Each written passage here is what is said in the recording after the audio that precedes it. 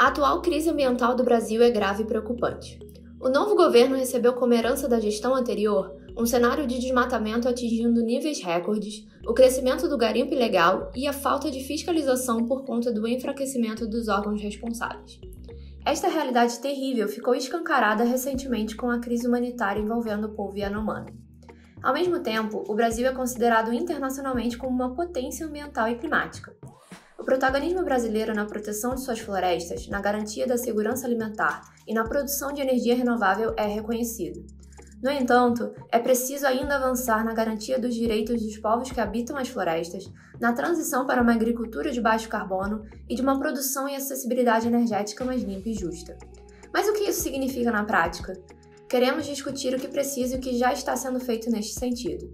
Por isso, o tema do Resenhas Cais de hoje é os desafios ambientais do novo governo.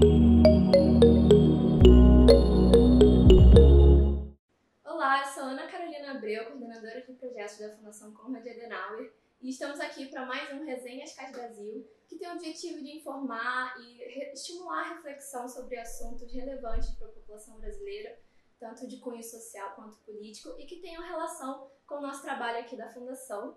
Hoje nós temos o prazer de receber a Nathalie Testel, uma grande especialista sobre política ambiental e climática aqui no Brasil.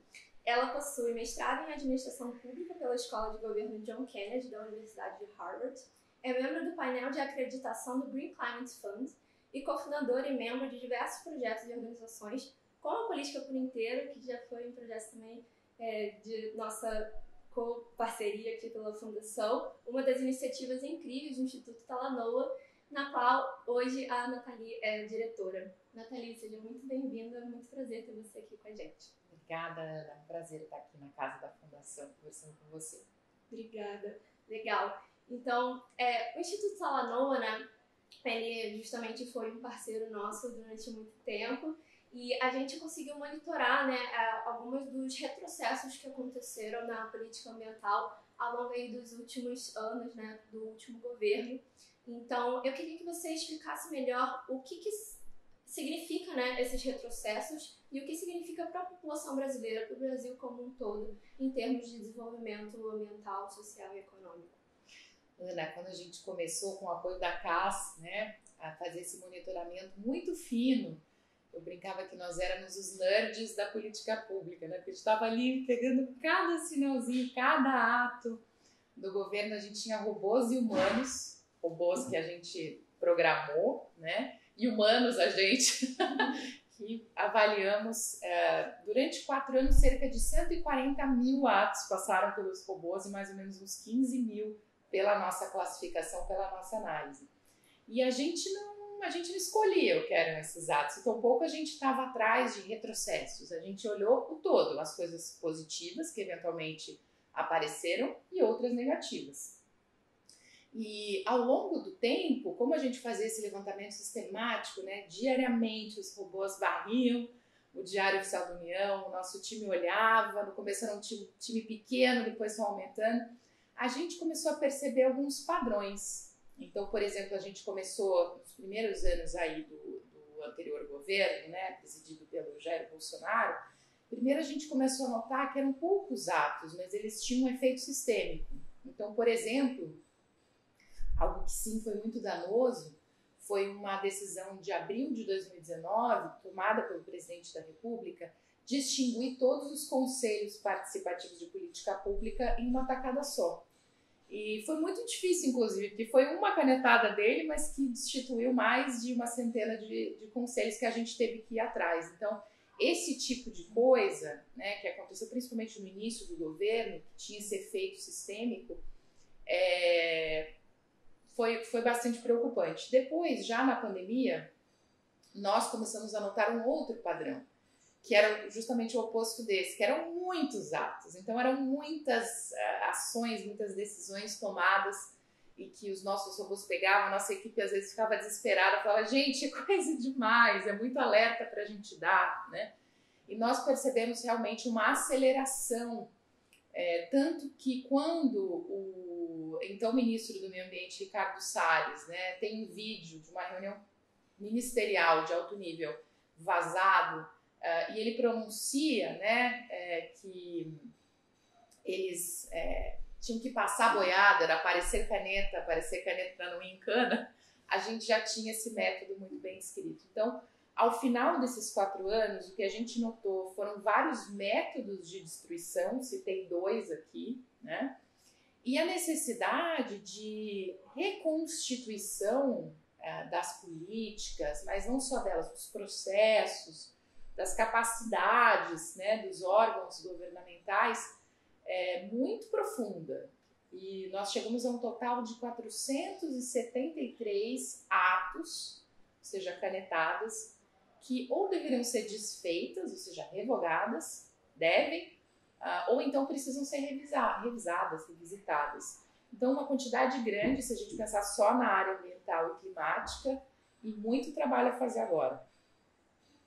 Perfeito, Nathalie. Justamente eu queria tocar nesse assunto, né? Da retomada do protagonismo ambiental do Brasil, que é reconhecido já historicamente pela né, preservação das suas florestas, né? E que isso tem um potencial imenso de alavancar a agenda climática mundial. E agora, indo para uma perspectiva positiva, então, o que, que isso significa para o Brasil?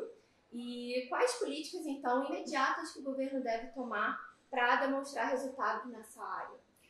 Ana, a boa notícia é que a gente tem um governo eleito, é, comprometido, né, desde a campanha e, enfim, na transição também, com essa reconstrução. É inclusive o mote do governo é União em Construção. Então é muito positivo, sim. Agora não é fácil, né? Como eu mencionava, uh, essa destruição, essa desconstrução, inclusive era essa palavra que então Jair, Jair Bolsonaro, presidente do Brasil, usava. Ele usou, nominalmente usou desconstrução. Ela foi muito profunda e muito eficiente. Então o que a gente está vendo agora, já nesse início de novo governo é que os órgãos novos criados, por exemplo, o Ministério dos Povos Indígenas, né, eles estão conseguindo sair na frente, porque eles não têm que reconstruir tanta coisa. Tiveram atos, claro, né, da FUNAI, mas eles estão indo em frente. O governo já, inclusive, está ali sufocando o garimpo legal na terra Yanomami, as políticas estão sendo reconstituídas, então está indo bem, eu diria que de vento em popa, né, na seara indígena, que é um ótimo cartão de visitas para a gente. Só que quando a gente olha clima e meio ambiente, eu diria que está sendo muito mais vagaroso, porque tem esse processo de desestabelecer esses métodos anteriores. Então, eu acho que tem um grande desafio aqui, eu colocaria, né, como resposta à sua pergunta, justamente que na seara da mudança do clima, a, a gente precisa é, restabelecer políticas. Isso requer consulta à sociedade, né, planejamento, e aí sim, parcerias uh, com parceiros históricos como a Alemanha, com novos parceiros, como talvez enfim, China, mesmo Estados Unidos, e, e eu acho que a gente tem uh, uma grande disposição desses parceiros internacionais em cooperar, mas a gente tem que fazer a lição de casa. Então, um grande desafio, eu acho que é agora uh, um senso de urgência, porque o novo governo está disposto a fazer? Sim. Não é fácil? Não então não pode parar, tem que seguir em frente, porque senão quatro anos é um tempo muito curto, na verdade, para tudo que precisa ser feito. Exatamente. Você comentou sobre cooperação né, e parceiros tradicionais. É, o presidente Lula tem justamente uh, retomado essa diplomacia ativa e altiva, que ele chama, né, principalmente tendo a questão ambiental como cerne ali da questão. Então, queria saber de você o que, que isso representa justamente para os nossos parceiros, né? Então, quais as perspectivas para essas cooperações e novos financiamentos também que a gente vê se abrindo na área e a diferença dessa postura para outra do governo anterior, que era de, digamos, uma cobrança né, dos países desenvolvidos para a preservação das florestas. Qual que é a diferença dessas duas narrativas? Olha, Ana, Vamos lembrar uma frase, eu gosto sempre de pegar os discursos oficiais, né? Tem uma frase do antigo, enfim, do anterior é, chanceler brasileiro Ernesto Araújo, que ele falava que o Brasil era orgulhosamente um párea.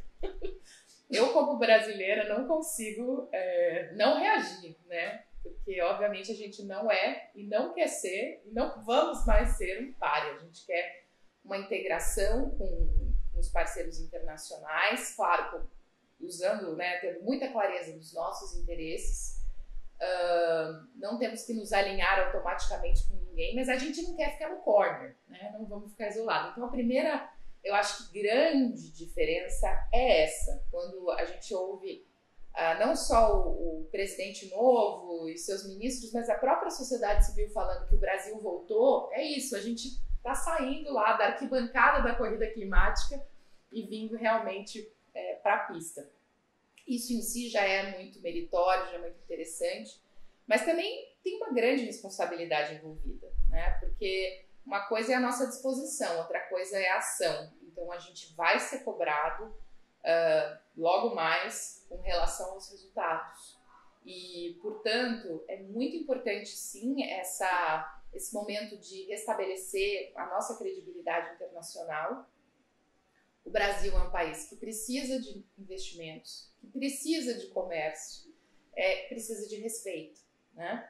Então, a gente vai atuar com esses parceiros. Agora, se nós não conseguirmos demonstrar, por exemplo, bons resultados no controle do desmatamento, a gente vai deixar talvez de ter apoio para receber pressão.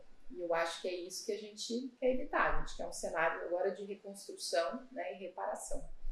É, qual que é a boa nova? Todos esses países com quem a gente tem uma, uma cooperação é, na diplomacia florestal já de longa data, como a Alemanha, como a Noruega, eles imediatamente no primeiro dia de 2023 já disseram: a gente está junto, vamos retomar a relação. Ótimo, vamos em frente. Agora tem esses novos parceiros, quer dizer, nem tão novos assim, né? Os Estados Unidos, por exemplo, coopera há muito tempo com o país, mas nunca investiu no Fundo Amazônia. Então tem um processo de convencimento que é do governo e da sociedade civil também, de dizer, a gente quer que vocês coloquem recursos no Fundo Amazônia, porque essa é a nossa opção gente não quer só o programa da cooperação americana, da agência americana, a gente quer vocês dentro dessa parceria. Isso tem se frutificado, então, excelente. Uh, talvez a China queira colocar recursos no Fundo Amazônia, acho que seria brilhante também. Então, tem esse processo agora. O Fundo Amazônia é um canal, um canal muito importante, uh, mas tem toda uma parceria privada a se constituir, né? E eu acho que uma coisa muito legal que, que aconteceu a despeito né, de todo o retrocesso dos últimos quatro anos é que a comunidade de investidores e também os empresários, tanto aqui quanto lá fora, se deram conta que eles também têm que incorporar uh, questões climáticas e sustentabilidade nos seus investimentos, na sua relação com o Brasil. Então, é, tem esse outro lado da cooperação mais público-privada que eu acho que também está muito ativado e, e, que a gente espera né, que empurre aí o Brasil para, enfim, ser aquilo que ele pode ser, que é o primeiro país, que pode ser né, o primeiro país a zerar suas emissões uh, líquidas uh, antes da metade do século. Justamente, puxando esse gancho de zerar emissões, né, a gente vê que é, a maior parte das emissões brasileiras são advindas do desmatamento, né, da mudança ali do uso da terra, e então, focando em Amazônia, que a gente não pode deixar de falar, e sobre a crise né, humanitária também que atingiu o povo Yanomami recentemente, é, o que, que você vê de política que pode ser feita para evitar uma tragédia como essa e justamente a gente entrar nesse caminho de zerar desmatamento e, consequentemente, uma boa parte aí das emissões? Ana, excelente pergunta. Primeiro, acho que é um pacote de políticas. Né? Olhando para a questão indígena, a Constituição Federal do Brasil, lá nos anos 80, reconheceu os direitos indígenas. Isso gerou uma série de demarcações, né, de reconhecimentos dos direitos deles aos seus territórios, mas não necessariamente gerou os recursos necessários para a proteção desses territórios, que são imensos na Amazônia. Né? O território, a terra indígena, terra indígena Yanomami, por exemplo, é uma área muito vasta, que está numa região de fronteira, então, é, eu acho que uma das políticas necessárias, eu estou bastante entusiasmada com tudo que estou vendo do Ministério dos Povos Indígenas e também da FUNAI, agora liderada né, por uma mulher indígena, é, é justamente nesse sentido de uh, ter que ajudar realmente uh, as organizações indígenas, o movimento, as comunidades a fazerem a vigilância dos seus territórios porque não basta achar que eles sozinhos vão conseguir dar conta quando a Amazônia ficou tomada nesses anos por quadrilhas, né, organizações criminosas que estão tanto no tráfico de madeira, quanto até de drogas e armas, quanto da, do garimpo ilegal. A invasão de terra indígena se tornou uma coisa muito frequente, infelizmente, né? E muitos indígenas morreram nesse processo. A gente tem que honrá-los, lembrando disso, porque eles foram para cima por conta própria. Agora, são terras da União. Então, são terras é, de todos nós, na verdade. Né? Imensas, né? né? Como você falou. Imensas. Então, uma primeira questão, uma primeira prioridade é justamente é, defender os direitos indígenas ao território e isso requer recursos e requer parcerias, né?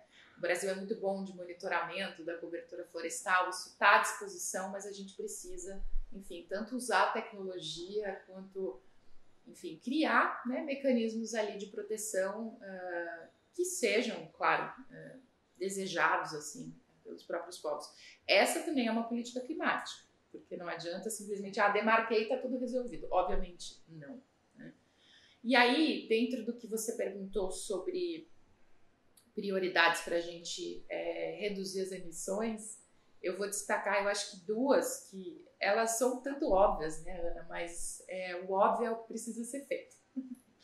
A primeira delas é fazer uma coisa que a gente sempre teve, teve muita dificuldade, mas quando fez, deu muito certo, que é garantir a implementação das leis ambientais. Estou falando aqui da fiscalização.